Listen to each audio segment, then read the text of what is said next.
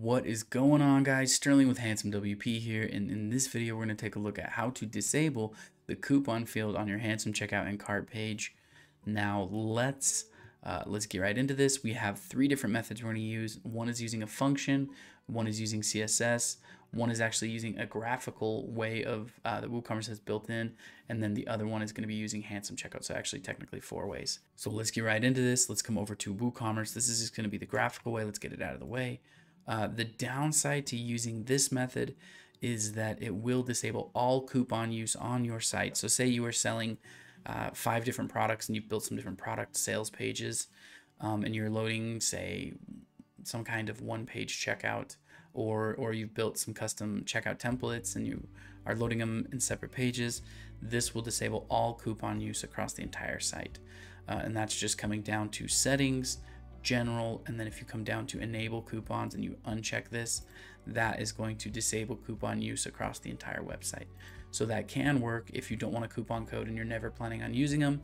This method method would work, but if you are wanting to maybe have uh, coupons usable on certain products or usable on certain checkout pages, um, then this method would not really work for you. So then we would have to look towards using CSS or using uh, a function to do that. So let's come down to our tools and I'm gonna open up my advanced scripts. Now I just wanna mention if you don't, uh, I love advanced scripts. It's absolutely amazing. It allows you to add different types of scripts and enable them and set conditions on where they display and all kinds of really awesome stuff. Um, if you don't want to purchase something like that, there is an awesome plugin called Code Snippets, and I'll just search that up real quick so you can see what that looks like. And this is gonna this is gonna allow you. It won't be quite as uh, quite as seamless as advanced scripts, but here you can uh, add code snippets or for C the CSS method, adding your scripts via header and footer scripts plugin, which adds a little section to your actual page content. So I'll show you what that looks like real quick. So if we just come down to our cart page and we edit, and then here you can see this little script section. So you could put uh, in style tags your your CSS to hide to hide your cart field if you wanted. So that is also also an option. But um, but we're gonna go and take a look at this code real quick. So let's take a look first at the function. This top section is going to hide the coupon field on the checkout page, and this second section is going to hide it on the cart page. So, uh, so yeah, pretty pretty straightforward. If you wanted to have it hidden on the checkout but not on the cart, you could just you know delete this section or vice versa. So if you wanted to enable this for a specific page, say you had a few different checkout pages that you were using, uh, using some other plugin, and you wanted to target specific checkout pages, you would want to come into this if statement here, and you would just want to add some other uh, some other logic in here that would target the specific page you want. Now, I'm not going to run through that in this video.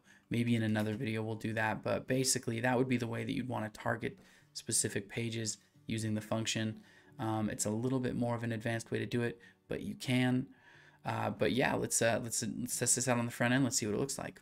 So here I am on my checkout page. You can see here I have my coupon code. So I have this big blue bar. Let's say I'm not offering a coupon on this product and I don't want to. Let's come back to my advanced scripts. We will save and activate, and then we'll head back to our checkout page and refresh, and you can see that coupon code has disappeared. So let's come back to advanced scripts and deactivate this one, and let's take a look at our CSS. So our CSS is a little more straightforward. Um, we have two different selectors. So one of these selectors is on the checkout, and one of these is for the cart form. So if you want it in there comma separated, you can see there's a comma in between them, and then we're just dis adding display none to our coupon field. So this works as well. So here we are back on our checkout page. Let's refresh now that we've enabled our CSS script and our CSS code, and now it has hidden that coupon field as well. So really pretty straightforward. The nice thing about the CSS is you can pop it into that page section. Um, if we go to, let's just edit our checkout page actually. So say we wanted to just run this on our checkout page and not on any of our other custom checkouts that we've created or something like that we could we could plop that CSS uh, right here as I mentioned earlier, which is kind of nice, and that would only run on this page. Um, now, lastly, let's take a look at Handsome Checkout and how easy it is to do this. So first of all, let's disable our CSS so we're not hiding it uh, site-wide, and then we're going to come down to Handsome Checkout and open up all of our checkouts. We're going to come down to the My Handsome Checkout, and we will open our edit page. And then um, let's scroll down here to the field section and you can see that we have a field section that says uh, that has a coupon box checkbox. So let's check that coupon box checkbox and update. And then let's come back up and open up this handsome checkout in another tab. And you can see over here to the right, I have a coupon field input that is enabled. So I can put that in, apply that. Now that will show up kind of wherever it is set to show up in the template, it'll show up there. Um, but in the multi-product template, that's, the, that's where it shows up. And then if we disable that just by unchecking that box and resaving, and we come back up to our handsome checkout and refresh, you're going to see that coupon field disappear. So really super easy. I want to thank you guys so much for watching. My name is Sterling with Handsome WP. If you have any other questions or any other uh, WooCommerce WordPress related questions, be sure to get them in the comments below and we can create a video around that.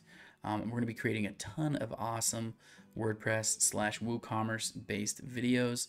So if you like these videos, subscribe please and throw a thumbs up, really helps us out. And if you'd like to know about any of our products or plugins that we've created, we'll have links to those in the description. I want to thank you again for watching and I will see you guys in the next video.